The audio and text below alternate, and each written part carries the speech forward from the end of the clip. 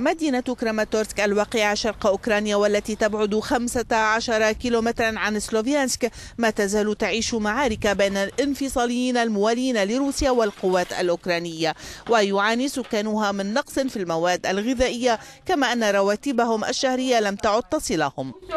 وتتساءل هذه المرأة التي دمر منزلها كيف يمكن أن تستمر بالعيش.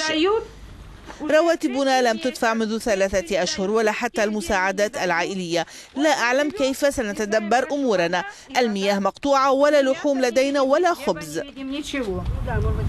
هذه الأزمة المعيشية طالت أيضا محطات الوقود والغاز.